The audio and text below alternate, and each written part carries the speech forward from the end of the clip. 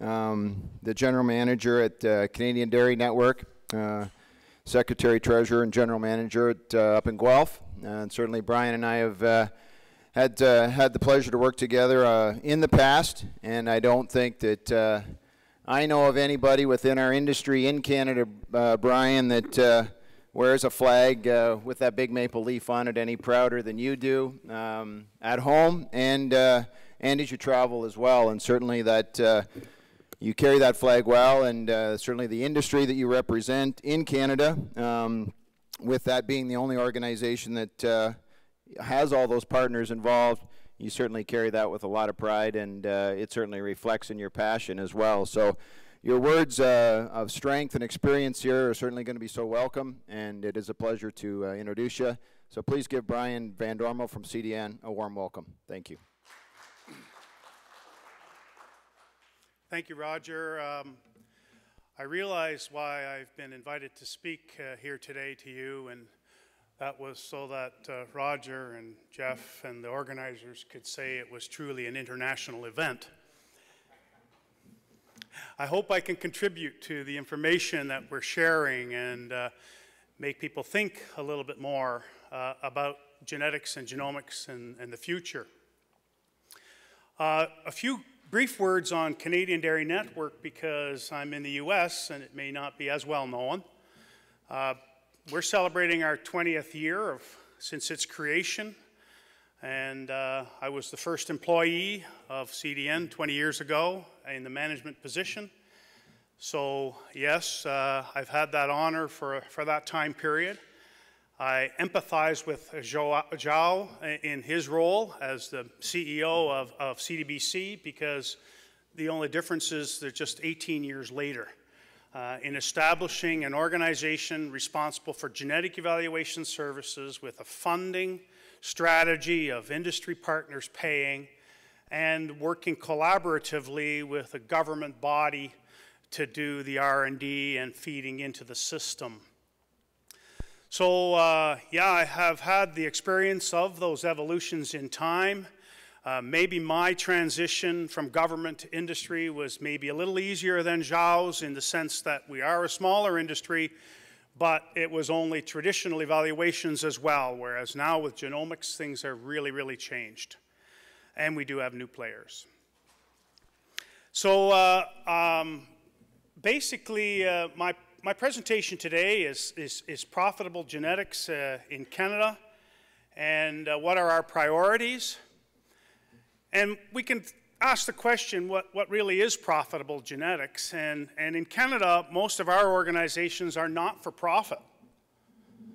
So the profit that we're focusing on is the profit of the dairy producers, of the breeders of our animals. And our focus as industry is to deliver programs, products, and services that help them be profitable. And so to do so, CDN has to provide accurate genetic evaluations for economically important traits. I, I, like what João said a moment ago as it relates to the U.S. industry as well. I think somewhere in between his lines there, he was saying that in the U.S., uh, your evaluations nationally have a tremendous important responsibility on progress in, in the U.S., but also around the world. So if you want dairymen to be profitable, you need to make sure they're going to make the right genetic decisions, and accuracy is important. And uh, erroneous genetic decisions lead to suboptimal profit at the farm level. So that's, uh, that's an important message that we recognize at CDN in, in the Canadian environment. Uh, this morning I'll also talk to you about uh, a new profit-based selection index uh, that we'll be introducing in August of 2015. I took this slide or made this slide just to show uh, the dairy cattle population size of different countries. These are the countries, there are other big, big, huge countries, but these are the countries with national genetic evaluation systems that participate in Interbull and are more or less advanced in that sense. U.S. having 9.2 million dairy cows, and you can go down on the population size by country to the little red box in the bottom corner where Canada has And if I rounded it up, we have a million. 968,000 dairy cows. Um, so I could get one, one in there rounded. Um, bottom line being is that we are neighbors. Uh, we work well together, but the U.S. is so much bigger than, than Canada. And we have to find a way in Canada to make sure that our dairymen are profitable and competitive. In terms of exports, uh, Canada exports uh, a substantial amount of genetic material. This is embryos, live cattle, and semen. And of all of the dairy exports in 2014, 67% went to the US. So the US is a huge marketplace, a market environment for dairy genetics out of Canada. And then you could see the order of the other countries going down, but none nearly as close as what the US is to the Canadian industry. And it represented 44% of all of the dairy genetic exports. But in the other way, Canada exported 11 million back. So there is a fair exchange of genetic material between the two countries. Um, and, and, and as João presented in his in a slightly different manner, uh, both Canada and the US have a tremendous uh, uh, market establishment for genetic material in other countries around the world. And I would say, uh, no disregard to the US industry, it's normal that you should have the largest share on an international marketplace. What isn't perhaps normal in those statistics that João showed is the significant portion that Canada has had for being such a small country. We have at least 15 to 20 percent of the international market share in genetics, and we're such a small country, that's a huge success. So what are our success factors in Canada? And the first, I have to say, is the high producer participation in all of our breed improvement programs. I don't know why this happened or why this has been the case, uh, but it, has, it is the way it is. We obviously have over 90% AI usage. 72% of all cattle in Canada are registered in the Breed Association herd books. 75% of all cows are on DHI, of which 85% of those contribute to genetic evaluations. 89% of herds that are on DHI also type classify. There are no incentives in any of these programs from government or any place else, and especially nowadays, even from the AI sector, to maintain this. Dairymen are on these programs because they see value in participating in these programs to help them make money in terms of herd management. They don't participate in these programs for genetic improvement. They participate in these programs for herd management, and the byproduct is that we get to use those phenotypes, that data, for genetic evaluations. That's the byproduct, not the original source. The second most important uh, success factor in Canada is a unified collaborative industry. And this goes back a long, long time, but has surely been accentuated within the CDN structure, and I expect it will be accentuated within the CDBC structure in the next 20 years in the US. AI, Breeds, DHI, and all milk marketing organizations across the country are all under one umbrella called CDN for dairy cattle improvement. In fact, I could go so far as to say we used to have an NAAB equivalent, it's gone. We used to have an equivalent that brought all breed associations together, that's gone. These layers between the CDN umbrella and the actual partners have all disappeared because they see themselves as partners under the CDN umbrella.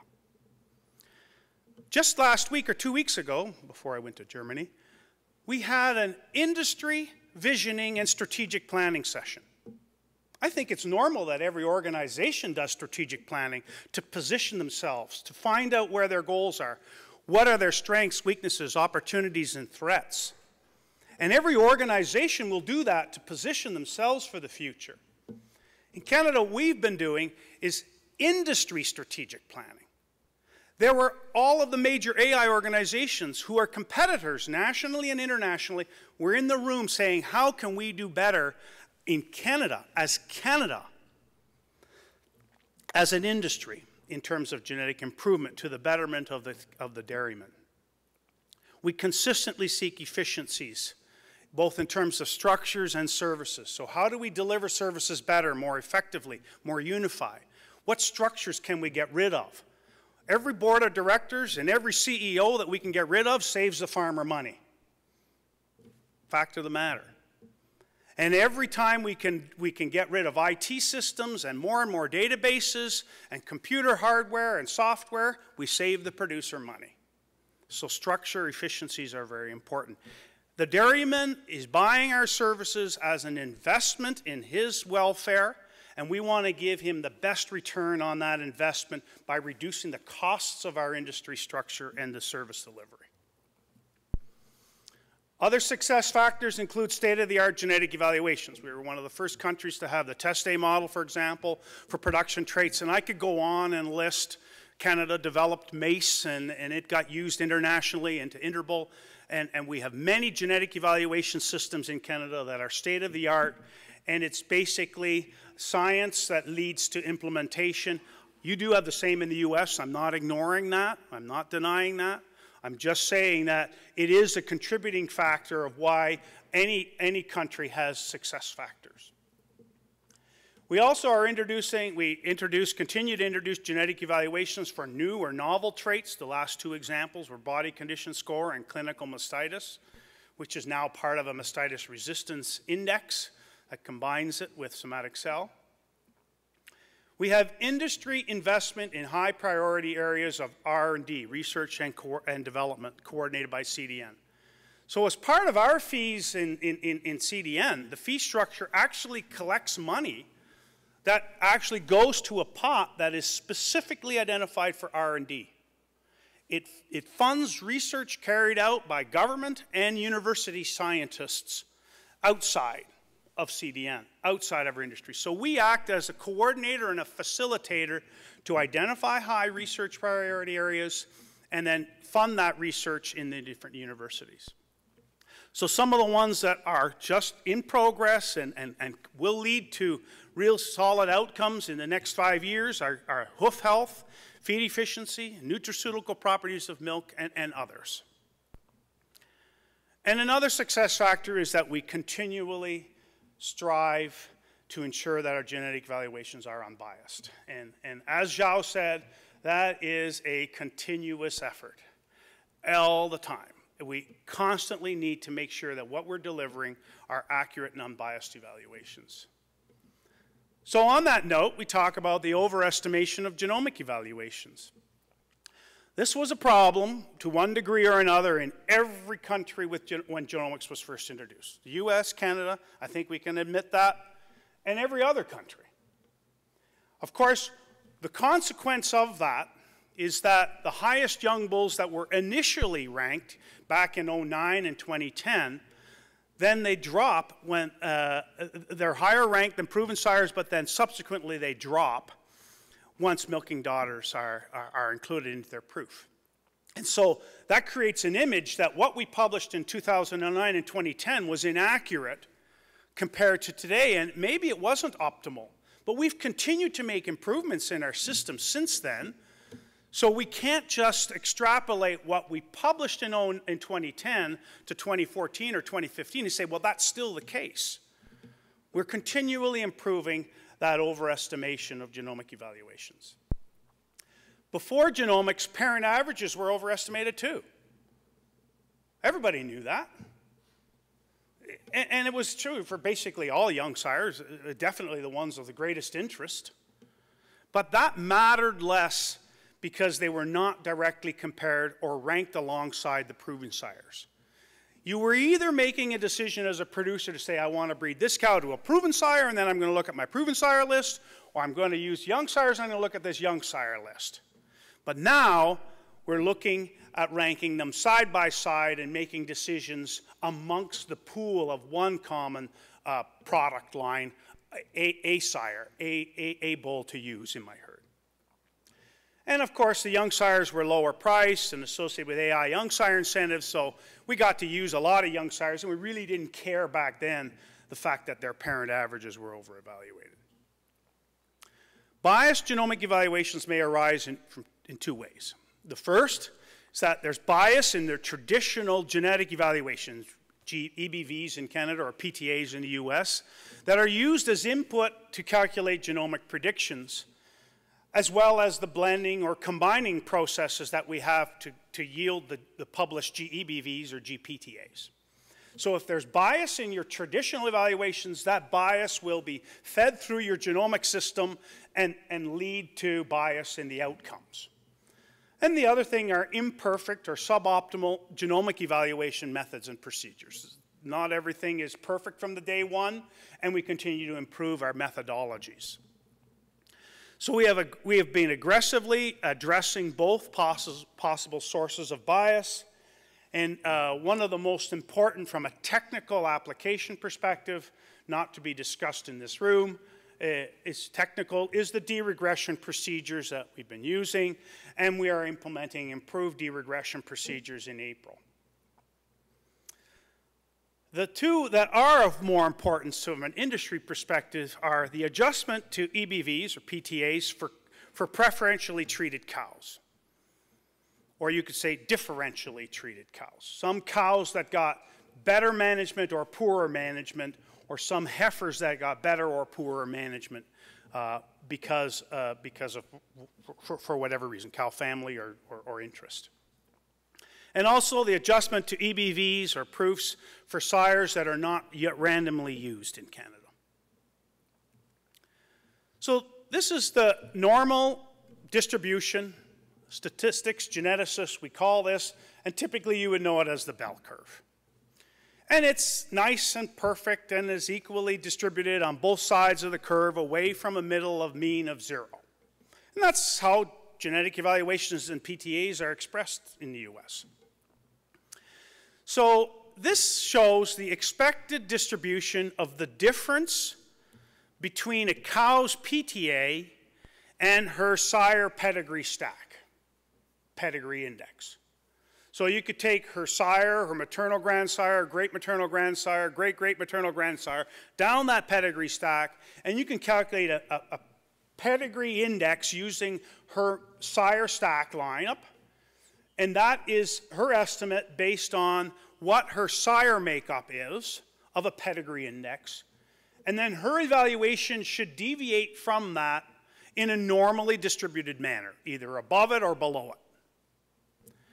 And, and so, giving this hypothesis, then, we look at what actually is happening.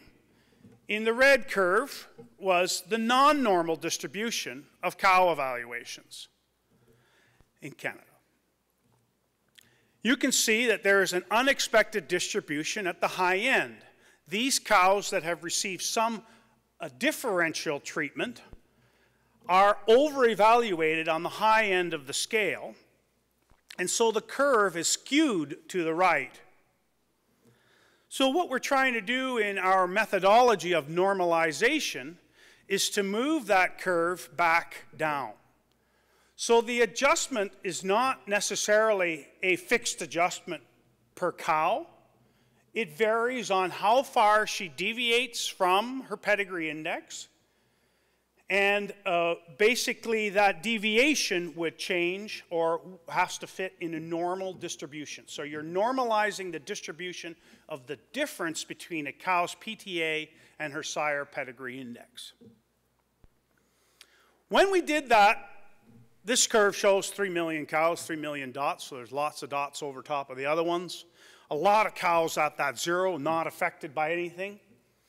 But basically, you can see there's a whole group of cows that were at the high end of our LPI list. Remember, this is all before genomics. This is before you feed into genomics. And we had high-end cows that had, you know, L, uh, LPIs over 3,000, 4,000. But there were these other cows over 2,000 as well. And that basically, when we adjusted for this normalization, they, uh, they dropped up to 400, 100 to 400 LPI points. So clearly, all of those cows had an, a, a, bias, an overestimation of their EBV compared to the expectation of the distribution of the difference between her, her EBV or PTA and, and her pedigree index. You also see on the, on the left here, there are some cows that actually uh, increased using this. They had an underestimation.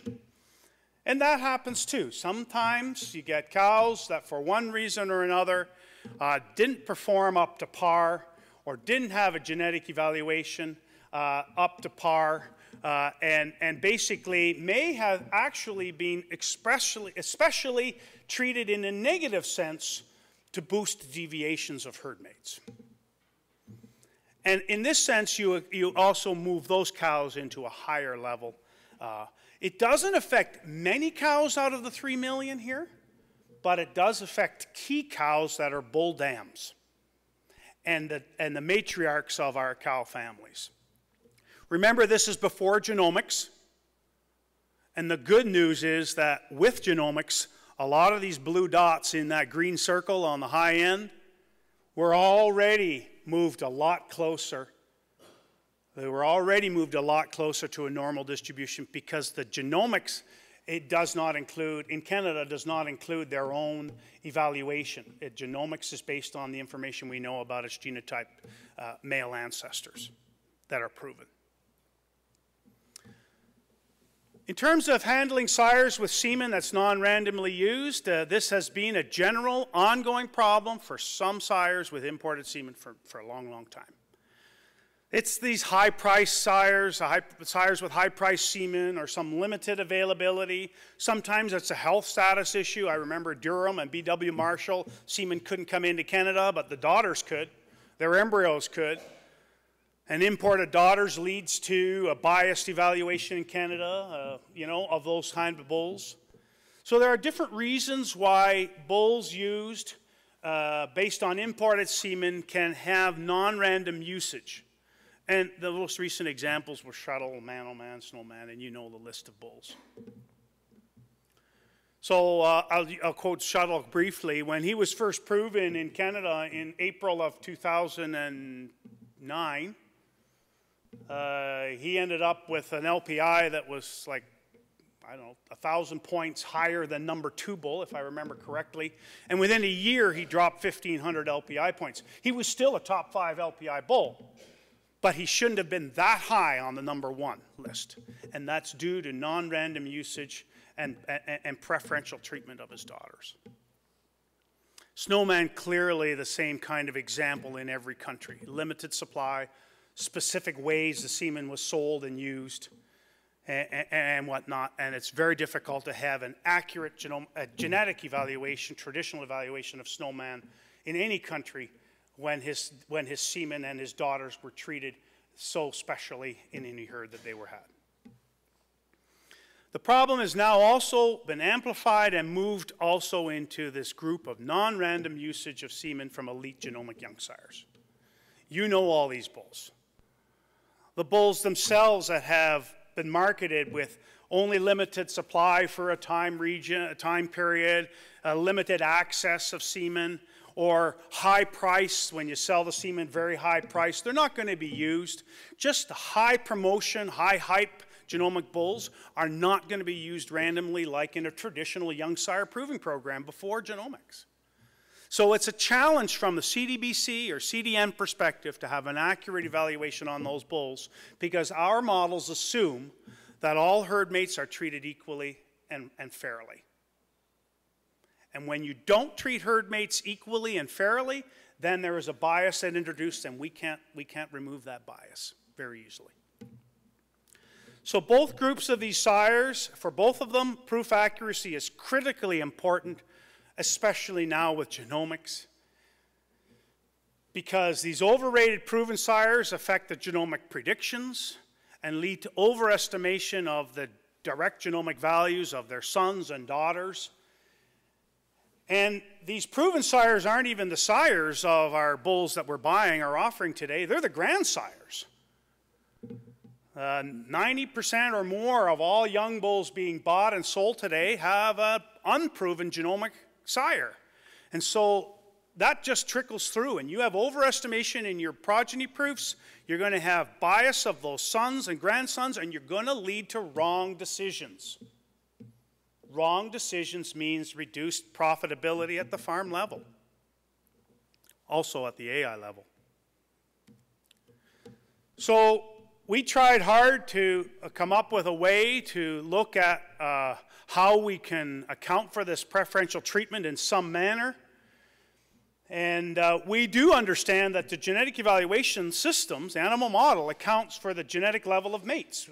You know, the dams of the daughters. We know if a bull is, is, is used randomly or not randomly, and they're used more on higher, higher, better dams or in better herds, our models can account for that non-random usage in terms of selection of mates and herds. That's not the issue. What we can't account for is how the subsequent daughters from those matings are, are, are how we can, uh, what we are treated as they grow up. If daughters of all bulls were just treated equally in any heifer pen, then we wouldn't have a problem. But the minute that we know that those are daughters of a particular sire in that heifer pen, and I'm going to treat them a little differently, then I'm going to run into a problem in our genetic evaluations. So, so, daughters of sires not randomly used are more likely to be treated in a special manner. And so we looked at many different indicators, indicators to try and identify those sires that are most likely going to have preferentially treated daughters. In the end, the one indicator that we found quite successful was the percentage of embryo transfer daughters that they have in their milk proof. Snowman has 98, 99% of all of his daughters in Canada are from ET. Shottle started with the same thing at the very beginning. Uh, Man-O-Man started with 85% of his daughters in Canada were from ET, flushes. So those first daughters, if you've invested in the dam, you've invested in the ET, you've, you've got full brothers maybe in an AI program, nobody who owns those daughters is going to just treat them like rough, any heifer in the pen. And so what we had done was we looked back in time. We went back to say, we've always, always had imported semen in Canada. We've always had proofs of bulls with imported semen. So we looked at what was the association when they were first proven and their proof and the percentage of ET daughters in that, in, that they had in that proof versus when their daughters, their proof was based on many, many daughters, widespread use of the bulls eventually, and the percentage of ET daughters in the proof dropped. Gradually over time, when a bull gets more broadly used, the percentage of ET daughters, maybe not in Snowman's case, but in most bulls' cases, uh, for example, Man is now less than 50%. And it eventually happened that he'll have more broad usage and a lower percentage of his daughters in the proof are ET, ET source daughters. So what we found was there was a nice relationship between how high, how, what the percentage of ET daughters that they had versus the drop that their proof realized over time so that was an estimate of the overprediction that we originally started with. And so now we have a mechanism in place to, that we implement that we adjust proofs, traditional proofs coming out of our systems before they go into genomics. We account and we adjust those proofs for milk, fat, and protein, as well as the five major type traits and this basically is what ends up happening on an LPI scale. We do it on a trait by trait basis. So daughter, bulls with 30% ET daughters or less have no adjustment. Even Goldwyn has almost 30% of his daughters are ET in Canada, but he's got tens of thousands of daughters. We don't expect bias or preferential treatment be affecting his proof, as an example. But bulls that have over 31%, for every percent, uh, there's roughly a five point drop in their LPI. If you want to add up milk, fat, protein, conformation, mammary system, feet and legs, dairy strength, and rump in our LPI, it equates to roughly five points. And a bull that has 100% of his daughters RET will get an adjustment downward of around 350, 355 LPI points. Which is exactly what happened to Snowman when he was first proven in April of 2014. If we didn't have this adjustment in place, he would have been a, a Shottle repeated, where he would have had an LPI 400 points higher than he did, 350, and he was still our number one LPI bull in that time. But it's better. And as and we've already pre-accounted for that, and that meant his progeny, his sons and his daughters were not overestimated.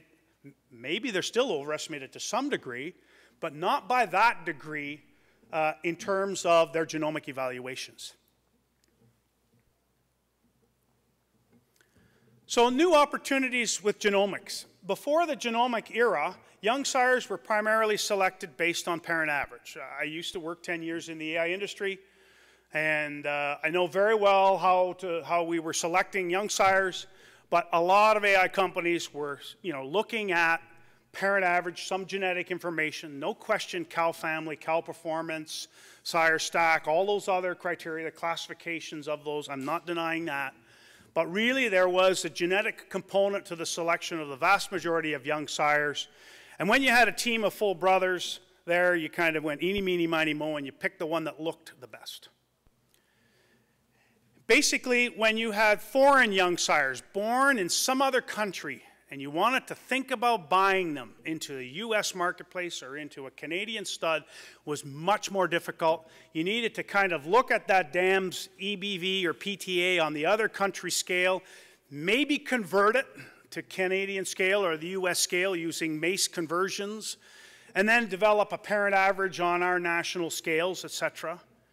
But really, we all we weren't we were afraid to do that because uh, in some countries because we needed to trust that their national genetic evaluation system was as good as ours. So if you felt that you were looking at a cow family in another country that genetic evaluations weren't all that good, then maybe you didn't even touch those because you don't know how good the dams really are or how the evaluations really are. Now with genomics, you can pull DNA from any animal in any country. And that DNA can be used and brought over here and genotyped, included in your CDCB system or in our CDN system, and, and we share the exact same database.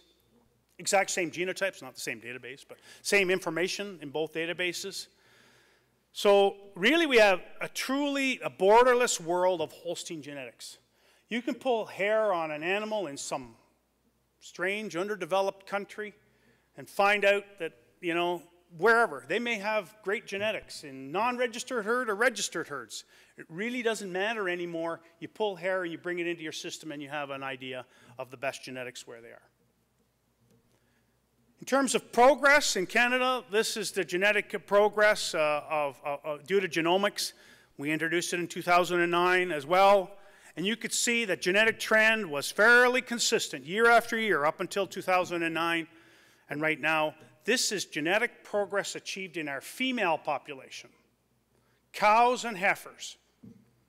And basically, the rate of genetic progress has truly doubled in Canada from uh, 54 LPI points per year to now 108. That's exactly doubled. And it's going to go even faster. It's doubled now in the first five years. In terms of young, young sires, are, are similar to the US story. The market share of genomic young sires is now 57% in Canada in 2014. What's of interest, perhaps, is that that bull we used to call the second crop bull, was nine years of age of older and had thousands or hundreds of thousands of daughters, he's moved from something like 8% of the market share down to 1 or 2%. Nobody's even looking at those old bulls anymore. And Barely 43% of them are still looking at progeny proven sires. We learned at Interbull last week there are some countries around the world that are now 95% young sire usage, genomic young sire usage. 95. Other countries are still 50, 55. We're kind of in between in the US and Canada, close to 60%. But that's the evolution that's happening. We need to make sure these genomic evaluations are correct. In terms of the offering given to Canadian dairymen, not every bull bought by AI companies in North America are sold in Canada. The yellow on the bottom shows the number of bulls offered in Canada as young sires. In, before genomics in 09, we were roughly at 400 bulls, and now since then, we're still at 400 bulls. I know some companies are buying fewer bulls, but what we're seeing is that more companies are selling bulls in Canada because it's so easy to do so now. We have genomic evaluations on a Canadian scale, and we've maintained the same number of bulls being offered to Canadian dairymen. They, they may be from different companies and different organizations. There may be new players in it, but the number of bulls offered to them is the same as it has been before. But look at the genetic quality of those genetics, increasing by 190 LPI points a year on average in the last three years. And that's just going to continue faster and faster.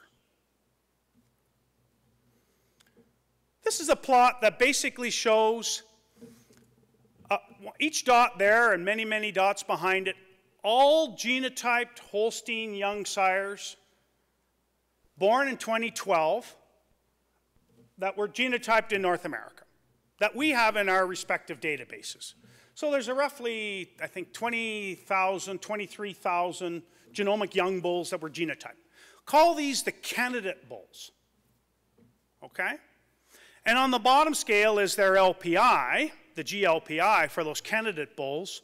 And then you can see there's the difference from their parent average. So some of them inherited genes and genetics that were better than their parent average and they should be above the zero, and others inherited uh, genetics that were poorer than their parent average and they're below the zero. So the zero line is pretty much in the middle of all of those. And that's normal. That's what we would like to see, that equal number of bulls genotyping to be better than parent average compared to those that are genotyping poorer than parent average. In fact, these red ones are the red ones that were candidate bulls not bought by AI companies. The blue ones were the ones that the AI companies in North America subsequently bought. And you can see on the right hand of your screen there, there are still some red ones that were very high for GLPI that were never bought.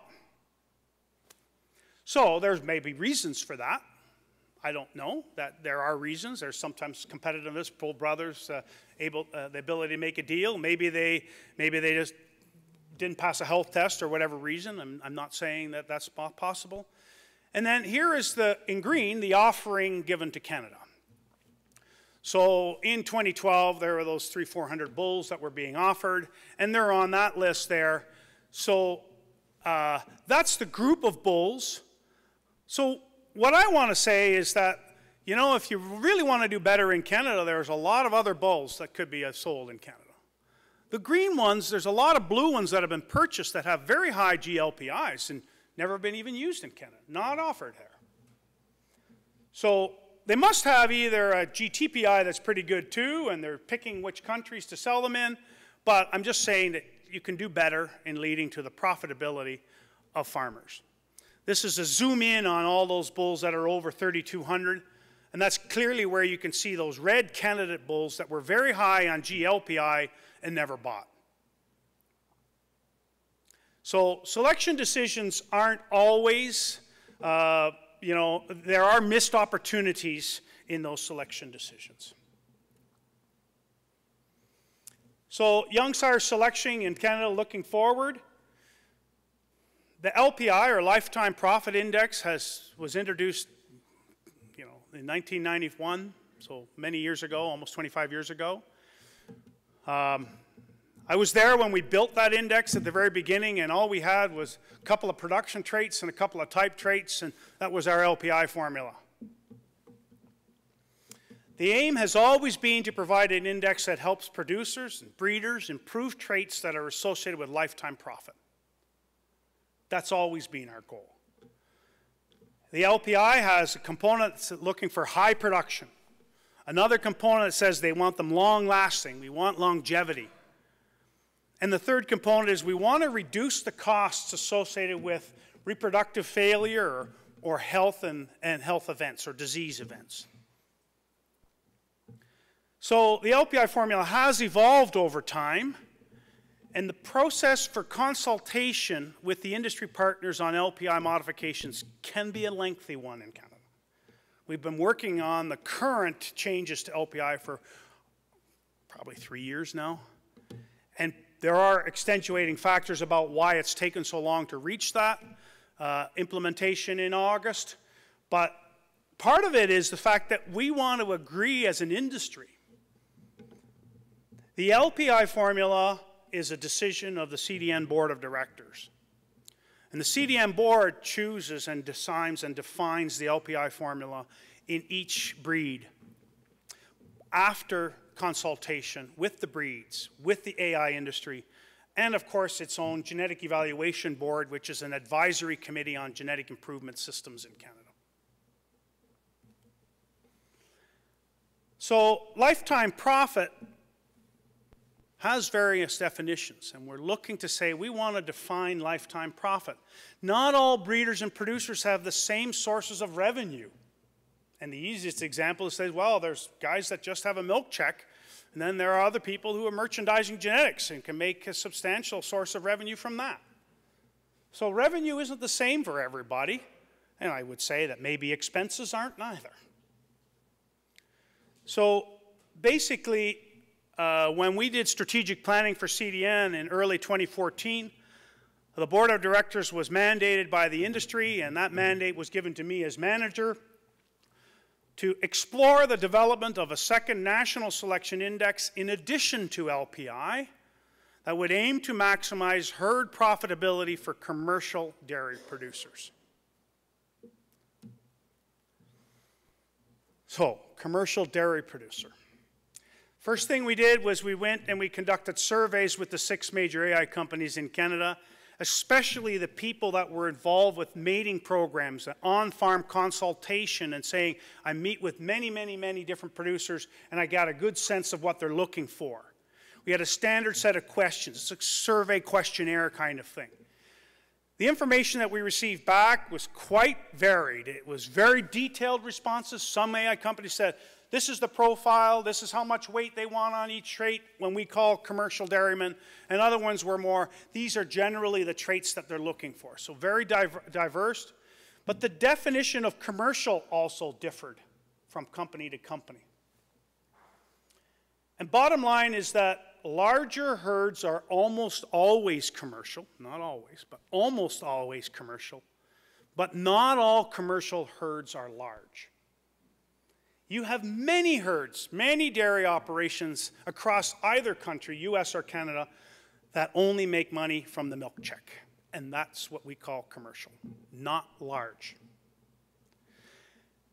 Functional traits in these herds are generally more important than what we have been using and including in our LPI. So they felt some kind of disassociation or lack of lack of uh, buy in to the LPI, that's not for me as a commercial dairyman. And commercial producers want to speak in dollars. They want to know how much money am I going to make if I use this sire or that sire.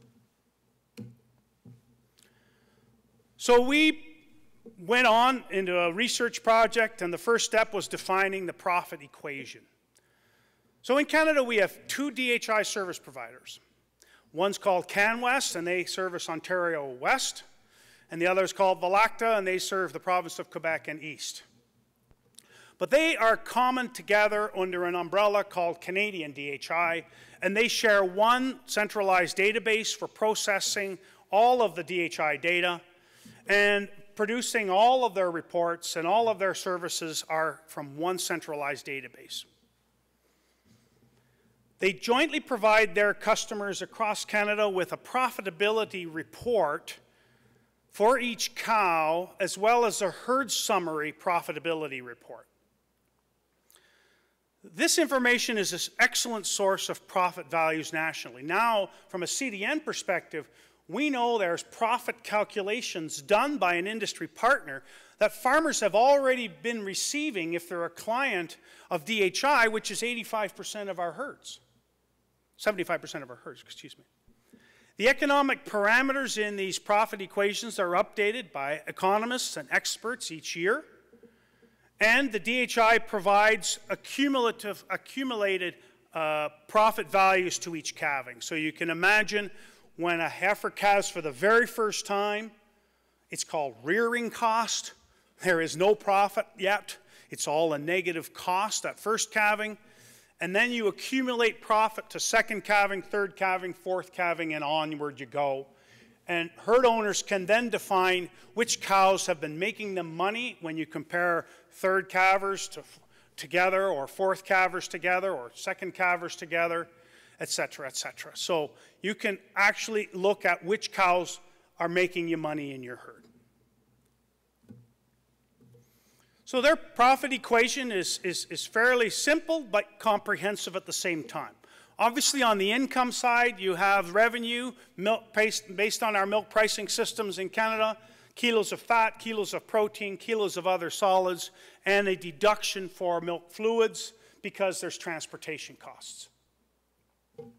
On the expense side, there's the heifer rearing cost, which is simply a linear function of the number of days from birth to first calving. That's, that's quite easy. Then there are overhead costs uh, for cows while they're in milk or dry, and the overhead cost is the same whether a cow is in milk or dry. It's, it's overhead. You're occupying a space in the barn. And then there's maintenance feed costs for lactating cows and maintenance fees costs for dry cows. And obviously, for lactating cows, these maintenance feed costs are, are higher, substantially higher. Then we also have marginal feed costs. Uh, and, and so those are the costs that we are allocating per, for producing a kilo of fat or a kilo of protein. And we know it actually costs more to produce a kilo of protein because of the high cost of the feeds you need to give them per kilo to get a, an extra kilo of protein. And we have supply management eh, eh, system in Canada, so there's also a quota opportunity cost. Our supply management system is on a kilo of fat basis, so there is an opportunity cost in the formula related to that kilo of fat that every cow produces because you fill your quota. So when we looked at defining profit, we were looking at how do we define it, and we, we, we decided and agreed as an industry we were going to define profit as accumulated profit to six years of age. This distribution shows the age at first age in months at calving for third calvings in red and fourth calvings in blue. So you can see that a lot of animals, or the early animals by five years of age or 60 months, they started calving for the fourth time. Um, but we decided to choose 72 months of age as the point because then we would include their profit during fourth lactation in our calculation of profit. Other cows, however, by 72 months of age are still calving for the third time. They're late. They had long intervals. Maybe they started late on their first calving and had problems breeding back, etc., etc., and really only calved for the third time by the time they reached six years of age. You can see by this curve over here on the right hand side, there are some cows calving for the fourth lactation only at 84 months or seven, seven years of age. So we wanted to pick a profit definition that was consistent in terms of a fixed age not a fixed stage of reproductive or productive performance like third calving, fourth calving, fifth calving. So this is the definition we're going with for our new profit-based index. And the way we have to do that then was conduct an analysis and we calculate the accumulated profit to six years of age. To do that, I included cows born between January 05 and September 08. I did this analysis in the fall of last year or the winter months here. And, and basically, I needed to make sure every cow had the opportunity to reach six months of age. And then I calculated the profit for each cow up until that point in time. We had roughly 700,000 cows in my analysis. Uh, and, and basically, what you end up with is uh, cows that are culled, let's say, somewhere in third lactation or in second lactation. If that's as far as they got and then they were culled, that was their profit to six years.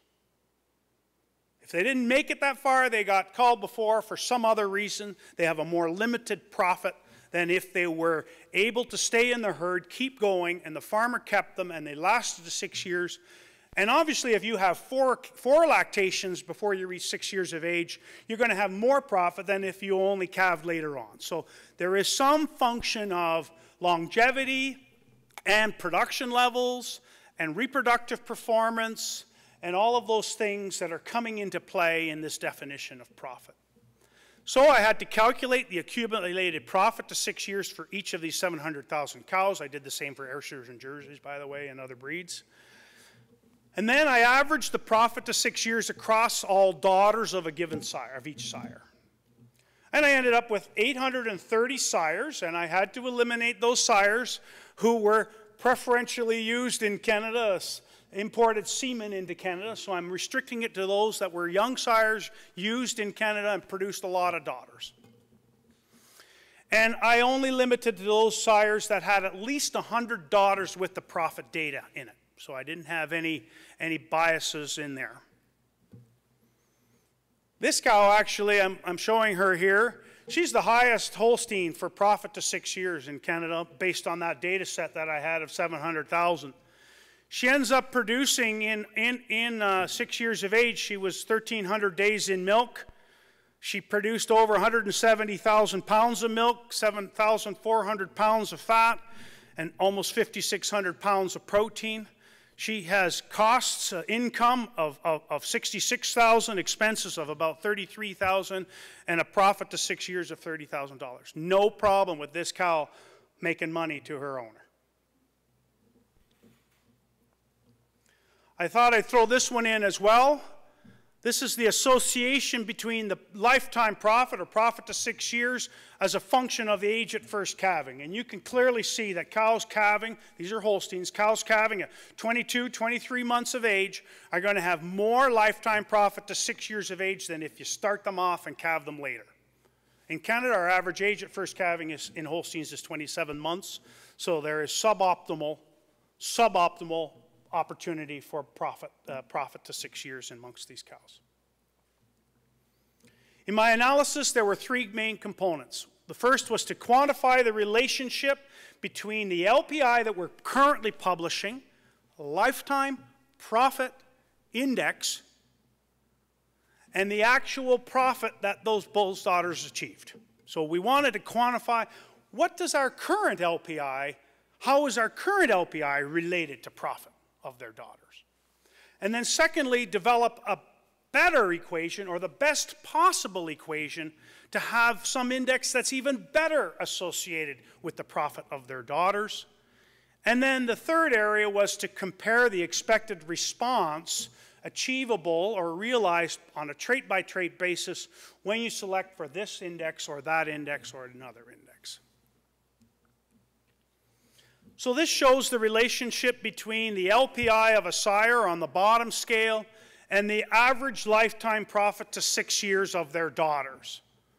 The correlation there is 73%, and you can generally see it's the, all these bulls, these red dots are bulls, they're not all on that black line. There is some variation in there, but I think we have to understand that a correlation of 73% between a sire's proof and the actual realized profit of their daughters is a pretty good correlation, recognizing that profit is not only genetically based. There's a lot of management in profit. There's a lot of environment in profit. And these genetic evaluations leading to a phenotypic performance of profit is a, is a, really, good, really good tool to promote lifetime profit index. So from this in the three breeds, I can now conclude that Every time you look at two sires that are 100 LPI point difference today with our current formula, and it's the Holstein or Ayrshire or Jersey breed, a 100 point difference between two sires is roughly $170 more profit to six years of each daughter of those bulls. So now we can say, if you want to use LPI as your selection index and select between bulls, here is the profit difference that you're going to achieve on average in their daughters. So again, talking dollars and talking money. So then when we define the profit-based index, we can use regression analysis to predict daughter average profit to six years using the sire's proofs for different traits as the input to do the prediction.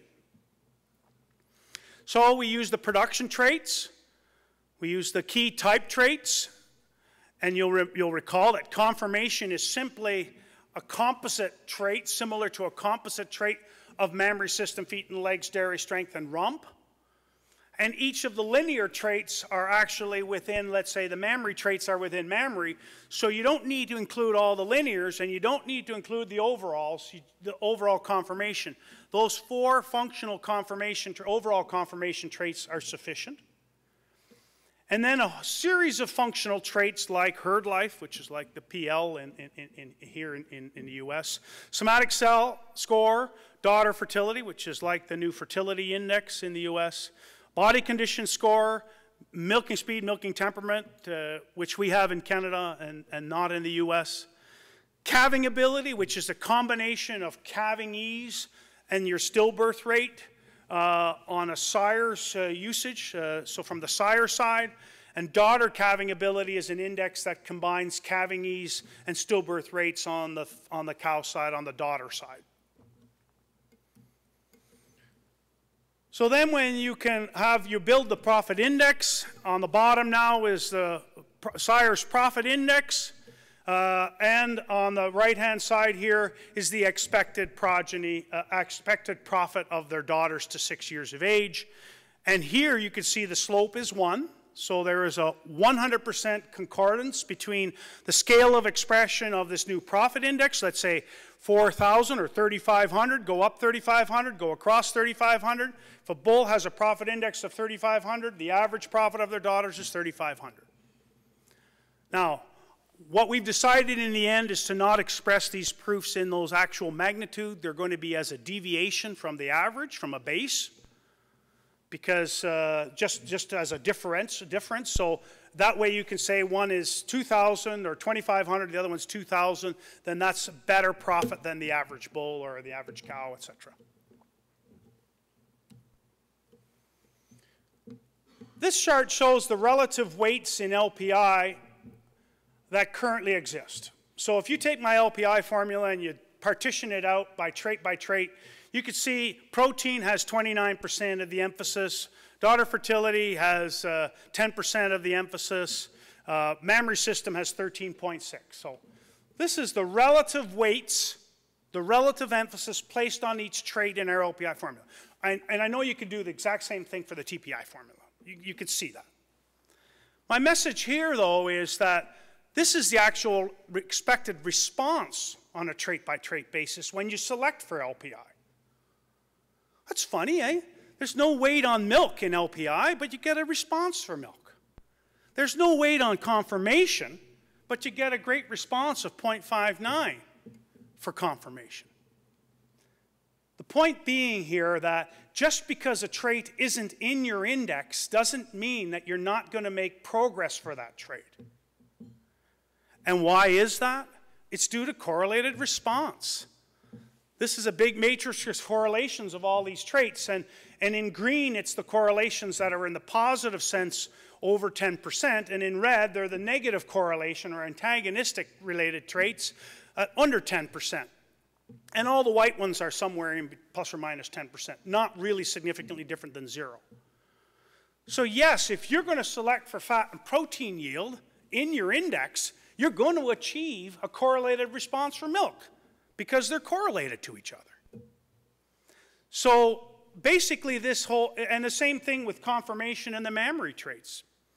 So I don't think in Canada, and I'm not so sure what, what, what, what, what perception or knowledge or extension adoption, I know there has been an extension effort by AIPL and USDA in the past about selection indexes and correlated responses and expected responses. But in Canada, we haven't done that very well. So we're basically changing our philosophy and saying relative weights in a specific selection index formula are way less important than people perceive. In fact, I would argue they create confusion rather than clarity. Our lesson's been learned in LPI.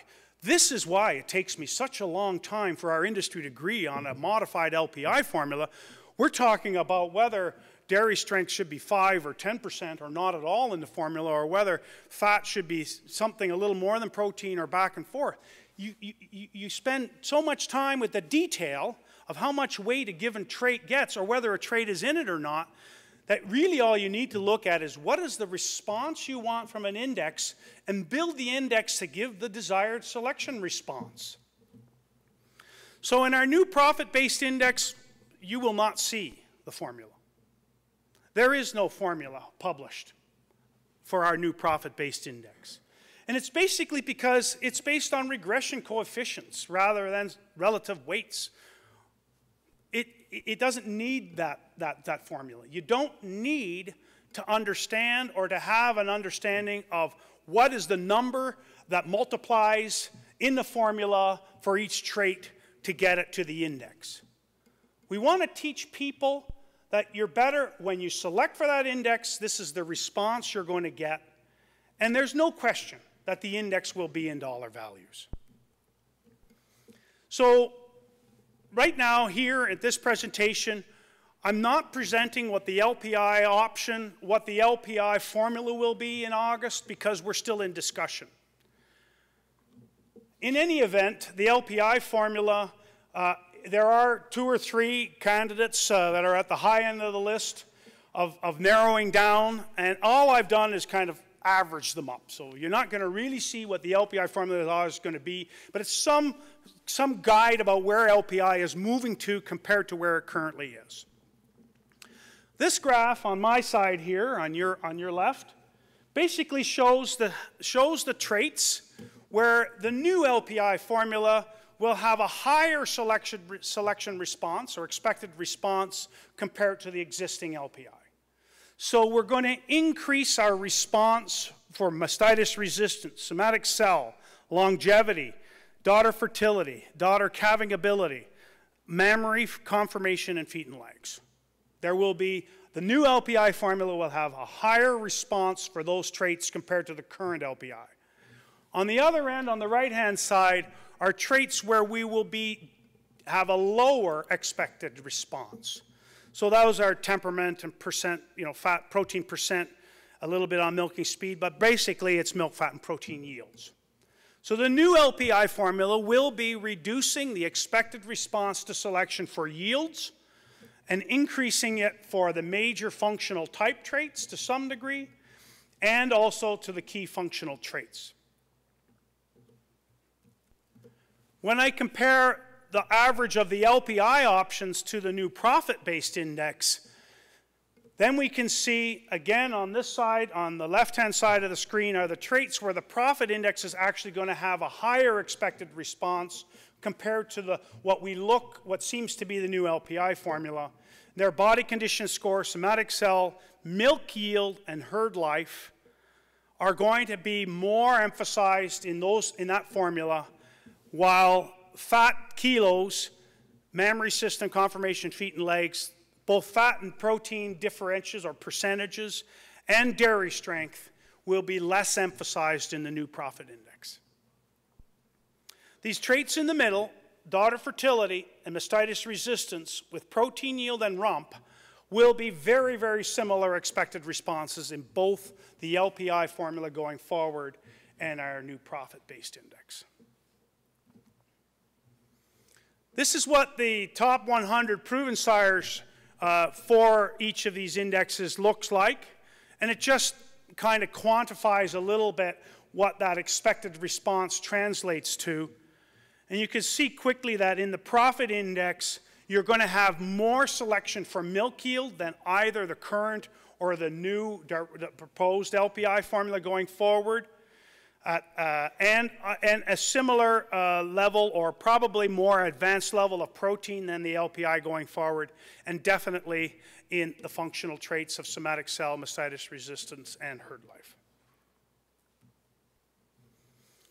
This is the list of the top 15 LPI sires today, uh, in yellow, ranked from 1 to 15.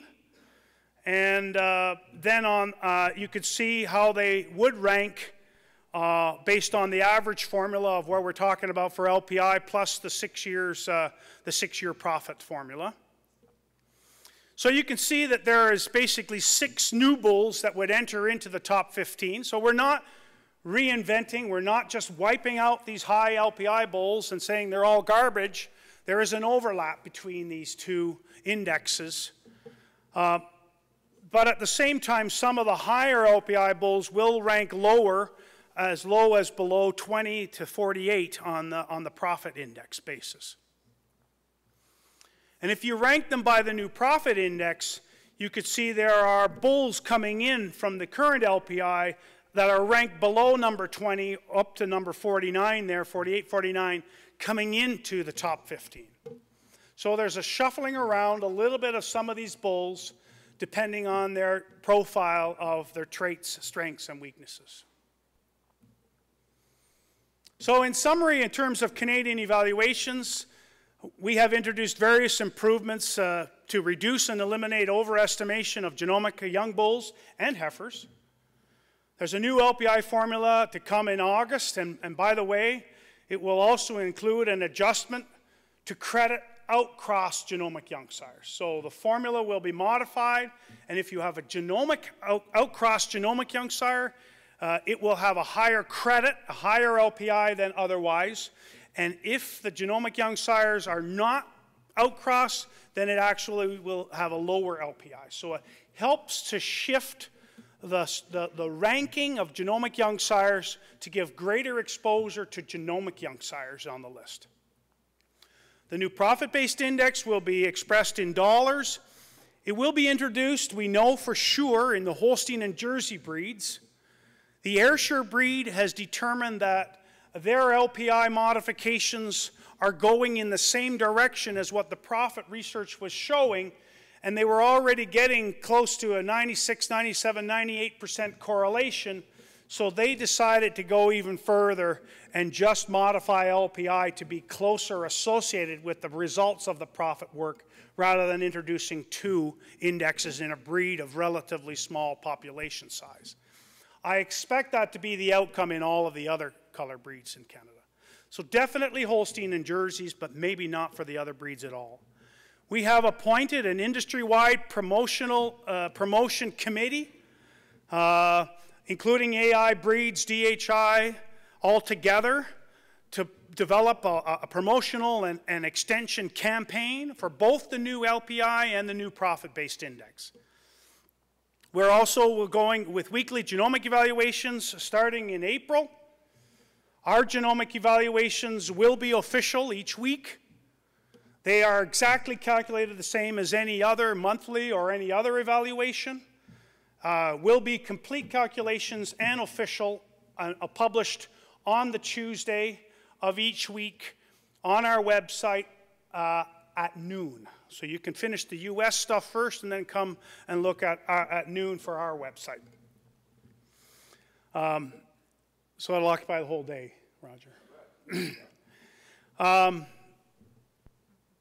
it will be focusing on obviously newly genotyped females. You don't need to update animals that already have a genomic evaluation. But once a bull in an AI company is known to be owned by or controlled by an AI company, then each week the new bulls will also become official as soon as the AI company wants to make them official. So to coordinate and manage this new uh, flow of information, which has become uh, an overflow of the bucket, uh, our board of directors has decided to launch new data management services. And this is really why we didn't go weekly earlier in January or February. We didn't want, we wanted to coordinate the service delivery with the ability to manage that service delivery. So we're introducing four new management, data management services, and one is a, a, a way to manage top genomic heifers that change every week. Uh, also, evaluations by an owner prefix. So in Canada, every breeder has a breeder prefix, and if they're an owner of an animal, they can get their own animals up on our website and manage that and download it in Excel. If it's a foreign animal, then we can work by the actual prefix of the animals because we don't know the change of ownership on foreign animals. Um, then two others that are more specific for companies that are nominators female genomic uh, details by nominator or requester, and male genomic details by nominator or requester. So these are quite detailed uh, files uh, that they would receive on a weekly basis automatically. Uh, those files already exist if you're a CDN member organization, but this service then becomes available to for those to subscribe to uh, if you're not a CDN member organization. So both of those three and four will be more internationally based companies looking to get Canadian-based genomic evaluations on their males and females. Um, all of these will be offered on a 12-month subscription fee, so you sign up, and you sign up for 12 months like getting a magazine every week. And then you can spend your time reading your magazine. Thank you very much for your time, Roger. I remain here today and tomorrow. If you have any other questions or discussion points, and welcome, uh, welcome any feedback and, and, questions. Well, thanks, Brian. That's uh, yeah. You guys can hear me there. Yeah, thanks, Brian. I think uh, certainly a load of information, and uh, it's always interesting to you know to note how you started out and addressing the issues that uh, you know were were on the table at the time and, and bringing them forward. I think that's really uh, crucial to, uh, to the progress that you've made and, and noting how you can move those uh, forward. So I think that was a, a really interesting, uh, the way you opened that with your, with your current issues and how you address them. So. Um, any, we're pretty much on time, but uh, certainly Brian's uh, valuable, and I do ask if anybody uh, on the floor at the current time would uh, like to come to the mic and uh, have a couple uh, questions for, for Brian. Lloyd? Lloyd Seaman, I'm curious on your outcross adjustment up for some and adjustment down. What did you, or how did you arrive at that? And I, I'm certainly concerned about the inbreeding levels, and just a little more information on on how that's going to be implemented. Okay. Um, so there are um, a couple of reasons why uh, genomic young sires um, evaluations might change when they become proven. So from the point of being a young sire to a point of when their progeny proven. And uh, uh, part of that change will relate to how closely those young bulls are genetically related to the population. So one way of looking at it and expressing it is what uh, you do in the US, where you say, what is the average inbreeding coefficient that you expect of those progeny of that bull if he was randomly mated in your population? We have a similar tool to measure that. We call it the relationship value. It's an R value, and it's basically double that inbreeding. So in our case, if we had a number of 14, then we expect the average inbreeding of their progeny of this bull to be 7 if that bull was used randomly in our population. If it's down at six, then you expect the average inbreeding of the progeny to be three. So we are using that relationship value to determine the level of adjustment. But the research that we did beforehand was one, uh, to basically look at what's the decrease that happens based on that level of R value. Because an animal that is more related to the population will have a higher average inbreeding rate of their progeny, and therefore they will have less variation in, in, in, their performance. And so that will generally reduce the ability of a sire to deviate from its parent average. In Canada, we do not account for inbreeding levels of progeny in our model of methods of genetic evaluation. Our scientists don't believe that that's correct. We can argue that separately if you like. But the point is that it can happen, and it's basically a result of uh, inbreeding depression or what happens over the course of time. So in addition to that research, we generally simply agreed that we need to do something to better balance the rate of genetic progress that's happening versus the increasing, the subsequent and correlated increase of inbreeding that would happen. So we're trying to introduce something that can help balance that out to some degree. I think that, that was good, Lloyd. I think the outcross question was uh, certainly on my list as well, and how, how you can adapt to it, and, and certainly I'm sure there'll be some uh, you know reviews as you go along as you as you project exactly. them. Um, George, I was I was interested in your uh, six-year profitability, and my question really is that uh, I think the goal is profitability per farm. I think you're doing profitability per cow. And I think that over penalizes the cow that leaves early because her stall is available for a subsequent cow. Sure. So uh, there are two things here. This is uh, genetic selection of sires. So it's meant to say which are the best sires to lead to the profitability of the daughter, daughter profitability. Um, obviously, DHI continues to provide a service that provides profitability values on each cow to help them manage better profitability at the herd level. So there is a distinguished difference between it. One is the management service to help herd profitability be maximized, and the other one is sire selection to contribute to improved profitability over the, by the selection, by the use of the daughters.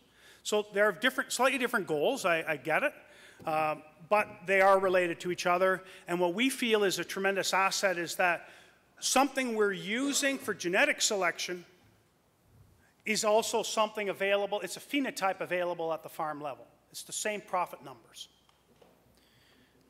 Just related with that, uh, Paul, sorry, go ahead. Uh, just related with that, uh, Brian, as you talked about your new profit index, you know, you talked about some more weightings on, on milk and protein. And looking at the, you know, earlier in your, in your conversation, you talked about the uh, Canadian dairy producer being paid on his kilo of fat. My, my question is, um, you is, are you aiming this uh, new profit index towards the Canadian producer or more as a global producer or, or a combination of both? And uh, just reflect on that if you would, please. So for sure, um, um, part of uh, part of the profit index has to be based on what are Canadian dairymen going to achieve. So uh, to be clear, the formula does have credit for each kilo of fat and kilo of protein. The difference that might make it a little bit unique from an international acceptance perspective is the fact that there is a penalty or an expense related to opportunity cost for quota, which makes fat kilos a little less important in their outcome than, than protein or milk. Um, I think there are many countries in the world where fat counts less uh, and milk counts for more. Uh, so I do think that this profit-based index will see a lot of international interest. Um, and it's no different than what net merit has done. It's in US dollar terms, and it has international merit and recognition. So I don't see it. Yes, you build something for focusing on your national audience, but it'll have huge international uh, buy-in, I expect, as well. And certainly, the, so certainly that's a, a, good response. And, and I think, you know, Canada's challenged, or you're not challenged, I'd say, you know, has uniqueness with its milk supply management, so you have to take that uh, into consideration going Absolutely. globally as well. Uh, Paul Hunt, please. Oh, sorry, I missed the opportunity to get you on the board table. So I, am struggling with the lack of transparency on the components on the profit index mm -hmm. because as you stated earlier, when you looked at the different cows, uh, different producers have different profits from different types of cows. So how is a producer to use that index to his own optimal benefit if he's not sure, if he's using a population-based figure that he then can't deconstruct and say, well, I need more weight on protein or I need more weight on another trait without that transparency of components? So there's a couple of things. Um, if you, if you really want, uh, anybody, anybody can take, uh, well, the, the first answer, of the first primar primary part of my response is that these are regression coefficients which cannot be interpreted in the same way as relative weights. So they are very different because automatically they consider the genetic correlation structure amongst all traits, which, which is very different. Uh, the second thing is um, we in Canada believe this is to be very novel and new and an innovative way to define the profit. It's not been used anywhere in the world like this, but has strong scientific merit to do so. So part of it is from an industry of intellectual property and say, why do we need to publish all of our numbers for the rest of the world or someone else just to mimic? So there is that component of it, I'll be frank. Uh, but most importantly, if you really want to, I can build an LPI formula and show it to have the weights if you really want to. We won't intend to do so, and I think from a farmer perspective, AI companies will need to understand that you can have a mating program that allows them to customize their weights, and we can help them understand if we can provide them the tools, if they want to have more gain from mastitis resistance than this formula gives them, they'll know how to adjust for that in the mating programs. Albert? Long time no see. Brian, Albert Reuring, Yes. Accelerated, but foreigner. Um, I'm really intrigued regarding the information on fertility. Probably the Holstein breed has been most criticized about our daughter fertility. When you demonstrated the number one cow in Canada, she wasn't really a fertile cow. No? And in the old LPI, there was zero sort of genetic progress or, uh, well, let's call it zero uh, genetic progress. In the new LPI, relatively still limited. So I would like you to, to help us understanding, are we overestimating maybe a little bit the value of our daughter fertility in our selection? And on the other hand, that, all, that nice number one cow had long lactations, but we are using a standardized 305 or 365 day lactation. Is that maybe also something for reconsidering? Both questions are very, very relevant and similar to some of the conversation discussion we've had in Canada. Um, bottom line is that years ago we used to say cows needed to calve at 12 month intervals. Now we accept longer intervals. And, and really, it's, in my opinion, a desirable or optimum calving interval really is a function of the shape of the lactation curve. And that particular cow that I showed you, um, you could see that she had very high levels of production, and it might not have been optimal for her to give some of that energy and resources to a pregnancy when she was making great money on the production side. So I don't see these things as so structured to say every cow has an, the same ideal calving interval. I think that calving interval needs to be managed based on animals or herds and the profit that they're achieving while in milk. And, and maybe that's part of the services we can help provide and say for this cow there's an optimum pregnancy date, and this cow there's a different optimum pregnancy date. I, I do think that you know we show here, and that's why I'm trying to say that profitability is not solely a function of fertility.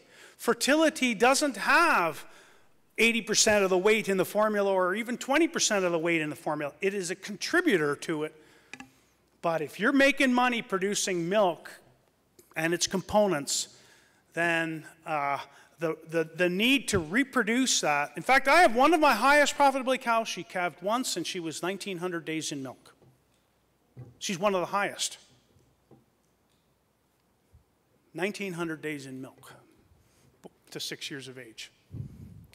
So I can't, if that's what the farmer wants to make, how he makes his profit, and he doesn't get a calf out of it, and doesn't do all that stuff, that's his decision too. So. I think, uh, Albert, that's a great question. I think fertility has certainly been on the forefront for, you know, a number of years and how we can improve it. And I think there's always going to be, uh, you know, you know, trickles to the equation to make it just a little bit better. And um, in cows, is, there's always examples like Brian used in his long lactation cow that uh, can be profitable. But uh, I certainly don't expect that uh, you'd want a herd of 1,900 day lactation cows either. So Exactly. Um, or a group of daughters of a bull with that. That's exactly Same right. thing. Sure, absolutely. It multiplies the, the problem. I think at this time we've kind of uh, had a tremendous morning, and uh, with wrap up, it's certainly it's uh, coming to a little bit of a lunchtime here that I would like to um, uh, address. That we would like to try and get back in here within about one hour if we could. Um, it's not unlike Brian to stretch